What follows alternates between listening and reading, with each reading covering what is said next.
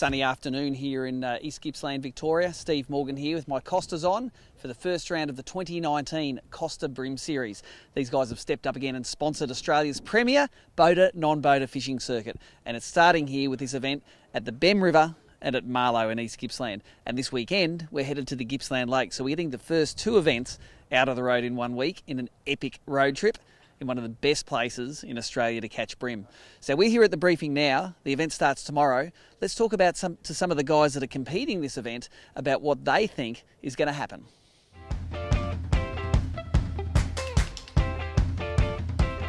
Uh, so I've won two as an on-boater now. Um, two years running, one at Mallacoota at my home uh, venue and one at Gippsland Lakes last year. Uh, always more of a challenge, sort of anytime you got to be your captain of the boat. Um, you got to put the, put yourself on the fish, help put your non-boater on the fish, and then be able to convert those bites into fish in the bag.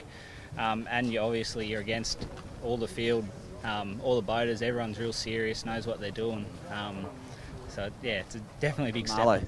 Um, Bemm River will definitely have more fish, um, better numbers, but the quality might not be there. There'll be a lot of bag fish, just average size, probably like the mid 30s for your better bags.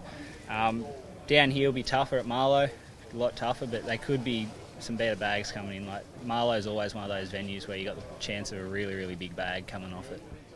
Uh, I think Bemm River will fish better than Marlo, from what the way I fished it. Anyway. I didn't fish here today. I only fished Bemm. Um, I think there's going to be a lot of fish caught there. Um, it's going to be filtering through the small ones to try and get a big bite. Um, I've heard Marlo's fishing tough, so but we'll see. There's a bit of a, a wind kicking through um, on Thursday, so you know, hopefully it does what it did on the grand final for us.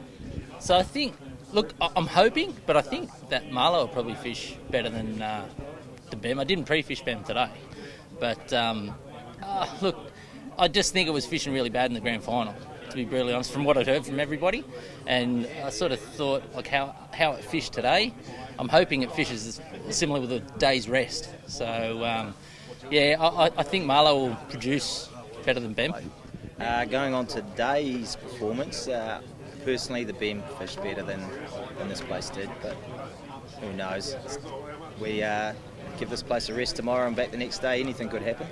Um, probably Marlo, I think. Uh, I headed out uh, first time on the system this morning. Headed out and um, found fish reasonably quick. Um, I think I had a bag in about 45 minutes or an hour. Um, I kept on fishing, trying new things, and uh, they didn't sort of work. So I know my tactics for this one. I ducked over to the Bemm quickly. Only got a quick couple of hours in there, but um, I only managed two fish. So I don't know whether they, they bite early over there. I'm not too sure. I haven't fished the Bemm, or I have fished it once, as you know, with yourself. And um, but we found them stacked up, but they they definitely weren't there this time. Bemm for me, but probably Marlo for locals. Oh, without a doubt, it's going to be the Bemm River. Um, we spent the morning pre-fishing there today, and we, uh, we, we probably caught 15, 20 fish between Dad and I. Um, and then we came and launched here at about one o'clock, um, and we scratched together a couple of fish. But um, yeah, there, there's not really finding the fish on the sounder, um, and getting the bites is pretty tough at Marlo. So. I'd say it's undoubtedly going to be Bemm, probably. Yeah, I think most people should walk away with their five fish.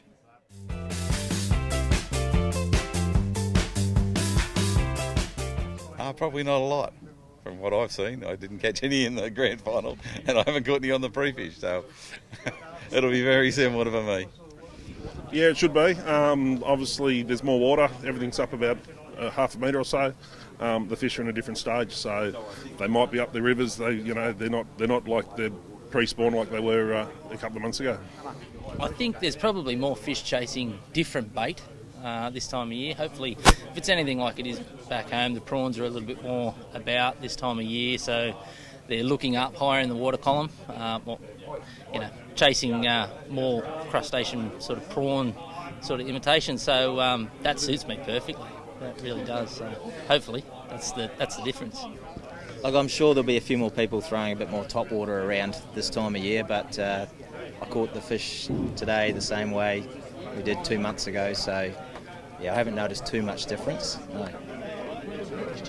Um, I really don't have any idea with Marlo. It, it, hasn't changed a bit for me. I got caught one fish in the grand final, and I got one fish today, so it's the same. It's still ordinary. Um, I think it's really similar, actually. Um, I've the, the fishing back in early December, late November. Um, it was sort of that sort of medium, you know, sort of six to eight foot sort of range, and it, it seems to be exactly the same. Um, the water's risen a lot. There's a lot of fresh water sitting on top, and the fish aren't sort of in that first two or three foot. They're sort of sitting down a little bit. So I- think it's going to be pretty similar. So could be good. Out here's a bit different. Um, not quite the same, but still a, still difficult in comparison to what it normally would be. Um, the entrance isn't overly strong, which means the tidal flow isn't overly strong either. And it's almost like the fish don't have their usual trigger systems. And I think that's probably one of the big differences as to why this is a bit up and down. But it still has the ability to produce some of the best fish in Victoria.